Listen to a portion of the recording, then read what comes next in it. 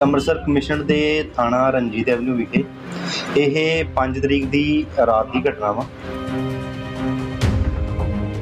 ਆਪਣੀ ਕੀਆ ਸੈਲਟੋਸ ਗੱਡੀ ਤੇ ਇੱਥੇ ਸ਼ਹਿਰ ਦੇ ਵਿੱਚ ਘੁੰਮ ਰਿਹਾ ਸੀ। ਜਦੋਂ ਇਹ ਰੇਲਵੇ ਸਟੇਸ਼ਨ ਪਹੁੰਚਦਾ, ਤਾਂ ਉੱਥੇ ਪੰਜ ਅਣਪਛਾਤੇ ਨੌਜਵਾਨ ਜੋ ਕਿ ਇਸ ਨੂੰ ਕਹਿੰਦੇ ਆ ਕਿ ਅਸੀਂ ਯੂਨੀਵਰਸਿਟੀ ਤੋਂ ਆ। ਦਿੱਲੀ ਨੰਬਰ ਸੀ। ਦੋਨੋਂ ਇਹ ਫਿਰ ਪਾਰਟੀਆਂ ਆਪਸ ਦੇ ਵਿੱਚ ਇਕੱਠੇ ਹੋ ਕੇ ਦੋਨੋਂ ਗੱਡੀਆਂ ਤੇ ਇਹ ਆਪਸ ਦੇ ਵਿੱਚ ਘੁੰਮਦੇ ਨੇ, ਪੂਰੇ ਸ਼ਹਿਰ ਦੇ ਵਿੱਚ। ਇਹ ਜੀ ਅੰਮ੍ਰਿਤਸਰ ਕਮਿਸ਼ਨ ਦੇ ਥਾਣਾ ਰਣਜੀਤ ਐਵਨਿਊ ਵਿਖੇ। ਇਹ 5 ਤਰੀਕ ਦੀ ਰਾਤ ਦੀ ਘਟਨਾ ਵਾ। 5 ਤਰੀਕ ਨੂੰ ਤੇ 6 ਤਰੀਕ ਦੀ ਸਵੇਰ ਨੂੰ ਕਰੀਬ 1:30 ਵਜੇ ਅੰਕੁਸ਼ ਸ਼ਰਮਾ, ਜੋ ਕਿ ਲਹਾਰਕਾ ਰੋਡ ਦਾ ਰਹਿਣ ਵਾਲਾ ਵਾ ਇਹ ਇਕੱਲਾ ਆਪਣੀ ਕੀਆ ਸੈਲਟੋਸ ਗੱਡੀ ਤੇ ਇੱਥੇ ਸ਼ਹਿਰ ਦੇ ਵਿੱਚ ਹੀ ਘੁੰਮ ਰਿਹਾ ਸੀ। ਜਦੋਂ ਇਹ ਰੇਲਵੇ ਸਟੇਸ਼ਨ ਪਹੁੰਚਦਾ, ਤਾਂ ਉੱਥੇ ਪੰਜ ਅਣਪਛਾਤੇ ਨੌਜਵਾਨ ਜੋ ਕਿ ਇਸ ਨੂੰ ਕਹਿੰਦੇ ਆ ਕਿ ਅਸੀਂ ਯੂਨੀਵਰਸਿਟੀ ਤੋਂ ਆ। ਜੇ ਕੋਈ ਕਿਸੇ ਤਰੀਕੇ ਦਾ ਤੈਨੂੰ ਕੋਈ ਕੰਮ ਹੋਵੇ ਤਾਂ ਦੱਸੀ। ਮਤਲਬ ਆਪਸ ਦੇ ਵਿੱਚ ਬਿਲਕੁਲ ਅਨਨੋਨ ਸੀਗੇ। ਬਟ ਕਿਉਂਕਿ ਦੋਨੇ ਆਪਸ ਦੇ ਵਿੱਚ ਸ਼ਰਾਬ ਵਗੈਰਾ ਪੀ ਰਹੇ ਸੀ। ਸੋ ਇਹ ਦੋਨੋਂ ਆਪਸ ਦੇ ਵਿੱਚ ਗੱਲਬਾਤ ਉੱਥੇ ਇਹਨਾਂ ਦੀ ਸ਼ੁਰੂ ਹੋਈ। ਤੇ ਇਕੱਠੇ ਉਹਨਾਂ ਕੋਲ ਜੋ ਗੱਡੀ ਸੀ, ਉਹ ਸਵਿਫਟ ਡਿਜ਼ਾਇਰ ਦਿੱਲੀ ਨੰਬਰ ਸੀ। ਦੋਨੋਂ ਇਹ ਫਿਰ ਪਾਰਟੀਆਂ ਆਪਸ ਦੇ ਵਿੱਚ ਇਕੱਠੇ ਹੋ ਕੇ ਦੋਨੋਂ ਗੱਡੀਆਂ ਤੇ ਇਹ ਆਪਸ ਦੇ ਵਿੱਚ ਘੁੰਮਦੇ ਨੇ, ਪੂਰੇ ਸ਼ਹਿਰ ਦੇ ਵਿੱਚ। ਤੇ ਘੁੰਮ ਘੁਮਾ ਕੇ ਜਦੋਂ ਇਹ ਕਰੀਬ 2:40 ਮਿੰਟ ਤੇ ਰਣਜੀਤ ਐਵਨਿਊ ਜੋ ਡੀ ਬਲਾਕ ਦੀ ਮਾਰਕੀਟ ਹੈ, ਉੱਥੇ ਪਹੁੰਚਦੇ ਨੇ। ਜਿੱਥੇ ਇਹ ਪਾਪੜ ਦੇ ਸਾਹਮਣੇ ਗੱਡੀ ਰੋਕ ਰੋਕ ਕੇ ਉੱਥੋਂ ਹੋਰ ਸਨੈਕਸ ਵਗੈਰਾ ਲੈਂਦੇ ਨੇ। ਤੇ ਗੱਡੀ ਦੇ ਵਿੱਚ ਡਰਿੰਕ ਵੀ ਆਪਸ ਦੇ ਵਿੱਚ ਕਰ ਰਹੇ ਹੁੰਦੇ ਹਨ ਜਦੋਂ ਜੋ ਮੇਨ ਇਹ ਮਦਈ ਮੁਕੱਦਮਾ ਵਾ, ਅੰਕੁਸ਼ ਸ਼ਰਮਾ, ਇਹ ਗੱਡੀ ਤੋਂ ਉੱਤਰ ਕੇ ਕੁਝ ਖਰੀਦਣ ਵਾਸਤੇ, ਲੈਣ ਵਾਸਤੇ ਜਾਂਦਾ ਵਾ ਤੇ ਉਹਨੇ ਟਾਈਮ ਦੇ ਵਿੱਚ ਇਹ ਗੱਡੀ ਆਪਣੀ ਸਟਾਰਟ ਹੀ ਛੱਡ ਜਾਂਦਾ ਵਾ।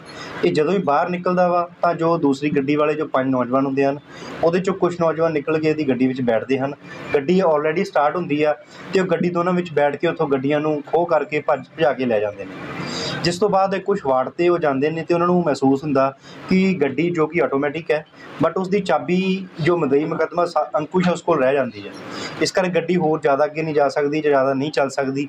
ਅਗਰ ਗੱਡੀ ਬੰਦ ਹੁੰਦੀ ਹੈ, ਫਿਰ ਉਸ ਤੋਂ ਬਾਅਦ ਸਟਾਰਟ ਵੀ ਨਹੀਂ ਹੋਊਗੀ।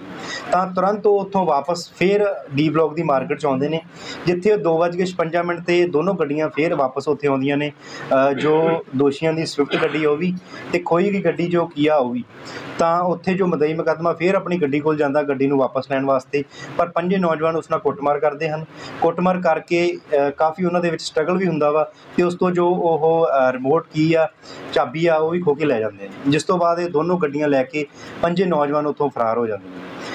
ਇਹ ਨੌਜਵਾਨ ਖੁਦ ਵੀ ਨਸ਼ੇ ਦੀ ਹਾਲਤ ਵਿੱਚ ਸੀ ਤੇ ਸਵੇਰ ਆ ਕੇ ਇਹ ਸਾਨੂੰ ਜਦੋਂ ਸਾਰੀ ਕਹਾਣੀ ਦੱਸਦਾ ਤਾਂ ਸਾਡੇ ਐਸਐਚਓ ਰਣਜੀਤ ਐਵਨਿਊ ਤੋਂ ਉਹਨਾਂ ਦੀ ਟੀਮ ਵੱਲੋਂ ਬੜੀ ਹੀ ਮਿਹਨਤ ਦੇ ਨਾਲ 24 ਘੰਟੇ ਦੇ ਅੰਦਰ ਅੰਦਰ ਇਹਨਾਂ ਨੇ ਇਹ ਜੋ ਕੇਸ ਬੜੀ ਸੈਂਸੇਸ਼ਨਲ ਕੇਸ ਸੀਗਾ ਜੋ ਕਿ ਰਾਤ ਨੂੰ ਗੱਡੀ ਖੋ ਹੋਈ ਸੀ 24 ਘੰਟੇ 'ਚ ਉਹਨਾਂ ਨੇ ਦੋਸ਼ੀ ਟਰੇਸ ਕਰ ਲਏ ਸੀ ਤੇ ਅਗਲੇ 24 ਘੰਟਿਆਂ ਦੇ ਵਿੱਚ ਅਸੀਂ ਹੁਣ ਪੰਜਾਂ ਦੋਸ਼ੀਆਂ 'ਚੋਂ ਚਾਰ ਦੋਸ਼ੀ ਅਰੈਸਟ ਕਰ ਚੁੱਕੇ ਹਾਂ ਜਿਸ ਗੱਡੀ ਨਾਲ ਖੋਹ ਦੀ ਵਾਰਦਾਤ ਕੀਤੀ ਗਈ ਸੀ ਉਹ ਗੱਡੀ ਵੀ ਰਿਕਵਰ ਹੋ ਗਈ ਆ ਜੋ ਕਿ ਅ, ਕੀਆ ਸੈਲਟੋਸ ਗੱਡੀ ਆ ਤੇ ਜਿਸ ਨਾਲ ਗੱਡੀ ਨਾਲ ਵਾਰਦਾਤ ਕੀਤੀ ਸੀ ਦਿੱਲੀ ਨੰਬਰ ਸਵਿਫਟ ਡਿਜ਼ਾਇਰ ਸੀ ਉਹ ਵੀ ਰਿਕਵਰ ਹੋ ਗਈ ਹੈ ਇਸ ਤੋਂ ਇਲਾਵਾ ਵਾਰਦਾਤ ਦੇ ਦੌਰਾਨ ਇਹਨਾਂ ਨੇ ਦੋਸ਼ੀ ਦਾ ਜੋ ਮੋਬਾਈਲ ਫੋਨ ਸੀ ਆਈਫੋਨ 11 ਪ੍ਰੋ ਉਸ ਦੇ ਉਹ ਵੀ ਉਸ ਤੋਂ ਖੋਇਆ ਸੀ ਤੇ ਉਹ ਫੋਨ ਵੀ ਰਿਕਵਰ ਕਰ ਲਿਆ ਗਿਆ ਤੇ ਦੋਸ਼ੀਆਂ ਦੇ ਖਿਲਾਫ ਅਸੀਂ ਐਫ ਆਈ ਆਰ ਨੰਬਰ 230 ਅਧੀਨ ਧਾਰਾ 379 B2 ਦਰਜ ਕੀਤੀ ਆ ਜੋ ਇਹ ਤਾਰ ਚਾਰੇ ਦੋਸ਼ੀ ਨੇ ਇਹਨਾਂ ਦਾ ਨਾਮ ਸਾਹਿਲ ਗਿੱਲ ਜੋ ਕਿ ਕੋਟ ਖਾਲਸਾ ਦਾ ਰਹਿਣ ਵਾਲਾ ਵਾ, ਗੁਰਪ੍ਰੀਤ ਸਿੰਘ ਜੋ ਕਿ ਰਾਮਨਗਰ ਕਲੋਨੀ ਇਸਲਾਮਾਬਾਦ ਦਾ ਰਹਿਣ ਵਾਲਾ,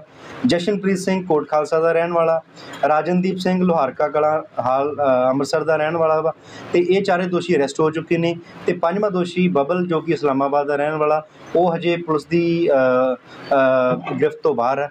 ਉਸ ਨੂੰ ਅਰੈਸਟ ਕਰਨ ਲਈ ਹਰ ਤਰ੍ਹਾਂ ਦੇ ਪੁਲਿਸ ਵੱਲੋਂ ਰੇਡਸ ਕੀਤੇ ਜਾ ਰਹੇ ਨੇ। ਨਸ਼ਾ ਕਿਹੜਾ ਕੀਤਾ ਸੀ ਨਾ ਮੌਕੇ ਦੇ ਉਦੋਂ ਸ਼ਰਾਬ ਦਾ ਕਿ ਕੋਈ ਸਿੰਥੈਟਿਕ ਡਰਗ ਇਹ ਆਪਸ ਦੇ ਵਿੱਚ ਸ਼ਰਾਬ ਵਗੈਰਾ ਦਾ ਨਸ਼ਾ ਕਰ ਰਹੇ ਸੀ। ਇਹਨਾਂ ਨੇ ਇਕੱਠਿਆਂ ਨੇ ਵੀ ਪੈਗ ਵਗੈਰਾ ਲਾਏ। ਇਹ ਆਪਸ ਦੇ ਵਿੱਚ ਬਿਲਕੁਲ ਅਨਨੋਨ ਨੇ ਬਟ ਰੇਲਵੇ ਸਟੇਸ਼ਨ ਦੇ ਜਦੋਂ ਮਿਲੇ ਤਾਂ ਆਪਸ ਦੇ ਵਿੱਚ ਇਹਨਾਂ ਨੇ ਦਾਰੂ ਵਗੈਰਾ ਵੀ ਪੀਤੀ ਤੇ ਫਿਰ ਰਣਜੀਤ ਐਵਨਿਊ ਆ ਕੇ ਵੀ ਇਹਨਾਂ ਨੇ ਸਨੈਕਸ ਵਗੈਰਾ ਆਰਡਰ ਕੀਤੇ ਤੇ ਆਪਸ ਦੇ ਵਿੱਚ ਇੱਕ ਹਿਸਾਬ ਨਾਲ ਇਹ ਆਪਸ ਦੇ ਵਿੱਚ ਖਾ ਪੀ ਰਹੇ ਸੀ। ਨਾ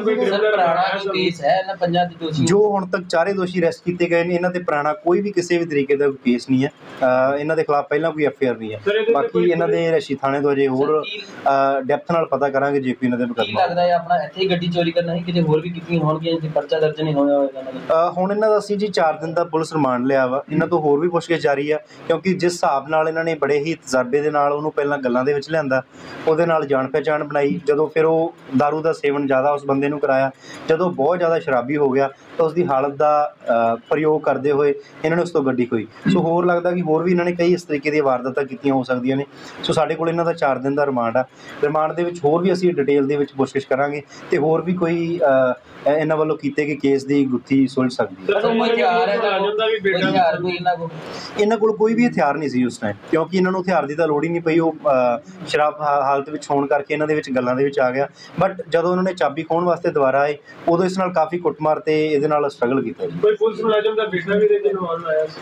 ਹਾਂਜੀ ਇਹਦੇ ਵਿੱਚ ਪੁਲਿਸ ਮੁਲਾਜ਼ਮ ਦਾ ਕੋਈ ਬੇਟਾ ਵੀ ਇਨਵੋਲਵ ਹੈ ਸਰ ਕੀ ਨਾਮ ਹੈ ਉਹਦਾ? ਜੀ ਕਿੱਥੋਂ ਦਾ ਰਹਿਣ ਵਾਲਾ ਹੈ? ਇਹ ਇੱਕ ਸਾਹਿਲ ਗਿੱਲ ਆ ਜੋ ਕਿ ਅ, ਉਸਦੇ ਫਾਦਰ ਏਐਸਆਈ ਨੇ ਸੰਤੋਖ ਸਿੰਘ ਇੱਕ ਰਾਜਨਦੀਪ ਆ ਉਸਦੇ ਫਾਦਰ ਵੀ ਅੰਮ੍ਰਿਤਸਰ ਰੂਰਲ ਪੋਸਟ ਨੇ ਸਰ ਇਹਨਾਂ ਦੀ ਉਮਰ ਕਿੰਨੀ ਹੈ ਦੋਸ਼ੀਆਂ ਦੀ? ਇਹ ਸਾਰੇ ਦੋਸ਼ੀ ਜੀ ਕਰੀਬ ਅ, ਪੱਚ- 25 22 ਤੋਂ 25 ਸਾਲ ਦੀ ਉਮਰ ਦੇ ਵਿੱਚ ਵਿੱਚ ਨੇ ਜੀ। ਸਰ ਕਿਸ ਤਰ੍ਹਾਂ ਦੇਖਦੇ ਹੋ ਕਿ ਇੱਕ ਪਾਸੇ ਜਿਸ ਤਰ੍ਹਾਂ ਤੁਹਾਡੇ ਵੱਲੋਂ ਹੋਪ ਇਨੀਸ਼ੀਏਟਿਵ ਕੀਤਾ ਗਿਆ ਕਿ ਲੋਕਾਂ ਨੂੰ ਡਰੱਗ ਤੋਂ ਫ੍ਰੀ ਕੀਤਾ ਜਾਵੇ ਪਰ ਜੋ ਨੌਜਵਾਨ ਪੀੜ੍ਹੀ ਹੈ ਵੀ 19 ਤੋਂ ਲੈ ਕੇ 25 ਸਾਲਾਂ ਦੇ ਨੌਜਵਾਨ ਹੀ ਕ੍ਰਾਈਮ ਐਕਟੀਵਿਟੀ 'ਚ ਜ਼ਿਆਦਾ ਇਨਵੋਲਵਮੈਂਟ ਦੇ ਰਹੇ ਨੇ।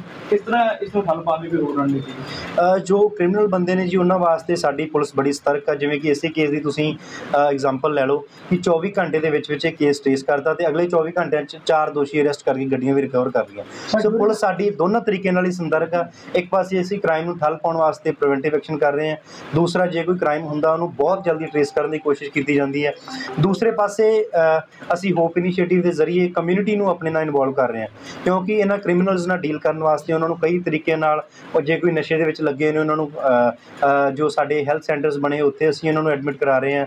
ਬਾਕੀ ਕਮਿਊਨਿਟੀ ਨੂੰ ਇਨਵੋਲਵ ਕਰਕੇ ਉਹਨਾਂ ਨੂੰ ਨਸ਼ਿਆਂ ਦੂਰ ਕਰਨ ਦੀ ਕੋਸ਼ਿਸ਼ ਕਰ ਰਹੇ ਹਾਂ। ਸੋ ਦੋਨੋਂ ਫਰੰਟਸ ਤੇ ਹੀ ਪੁਲਿਸ ਵੱਲੋਂ ਪੂਰੀ ਜਦੋਜਹਿਦ ਕੀਤੀ ਜਿਹੜੇ ਜਾ ਰਹੀ ਹੈ। ਦੋਸ਼ੀ ਨੇ ਇਹ ਚੋਰੀ ਦਾ ਕਰਕੇ ਸਾਰਾ ਸਮਾਨ ਨਸ਼ੇ ਦੀ ਪੂਰਤੀ ਅਸੀਂ ਫਿਰ ਆਪਣਾ ਮਸਲਾ ਕਰਦੇ ਸਰ। ਇਹ ਹਜੇ ਜੀ ਅਗਲੀ ਰੀ ਪੁੱਛਗਿੱਛ ਦੇ ਵਿੱਚ ਆਊਗਾ ਕਿ ਗੱਡੀ ਖੋਣ ਦਾ ਉਹਨਾਂ ਦਾ ਮਕਸਦ ਕੀ ਸੀ ਕਿ ਗੱਡੀ ਨਾਲ ਕੋਈ ਵਾਰਦਾਤ ਕਰਨਾ ਚਾਹੁੰਦੇ ਸੀ ਜਾਂ ਇਹ ਗੱਡੀ ਵੇਚ ਕੇ ਪੈਸਾ ਕਮਾਉਣਾ ਚਾਹੁੰਦੇ ਸੀ। ਸਰ ਜਿਹੜੀ ਗੱਡੀ ਕੋਈ ਕੇ ਕੁੱਟਿਆ ਮਾਰਿਆ ਕੋਈ ਸੀਸੀਟੀਵੀ ਆਈ ਸਾਹਮਣੇ ਉਹਨਾਂ ਦੀ? ਇਹ ਹਜੇ ਕਾਫੀ ਸੀਸੀਟੀਵੀ ਜਦੋਂ ਅਸੀਂ ਟ੍ਰੇਸ ਕੀਤਾ ਕਾਫੀ ਸੀਸੀਟੀਵੀ ਸਾਹਮਣੇ ਇਹਦੇ ਵਿੱਚ ਆਈਆਂ ਨੇ।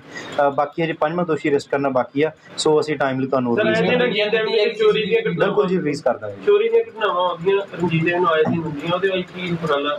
ਉਹਦੇ ਵਾਸਤੇ ਜੀ ਸਾਡੀ ਪੁਲਿਸ ਪਾਰਟੀ ਵੱਲੋਂ